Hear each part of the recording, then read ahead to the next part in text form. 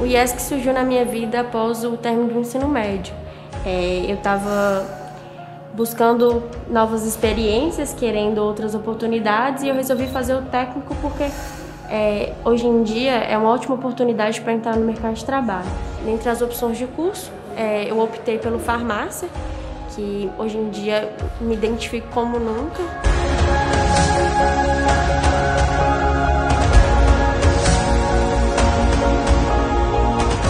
Saí do, do ensino médio, que eu, fui, que eu queria faculdade, e na época, para eu, eu bancar minha faculdade, eu teria que ter o meu suporte. Então, eu teria que trabalhar. E o técnico, para mim, veio como uma oportunidade de emprego, que no caso seria para eu, eu ter a minha base primeiro, para depois eu ter um, um superior.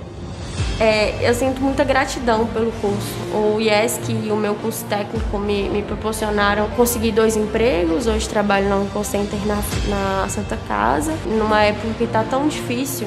Hoje em dia eu tenho essa tranquilidade de poder estar tá empregada, de, de ter cursado e feito um, um curso que só vai me agregar na minha vida. Estou feliz da vida com o meu emprego.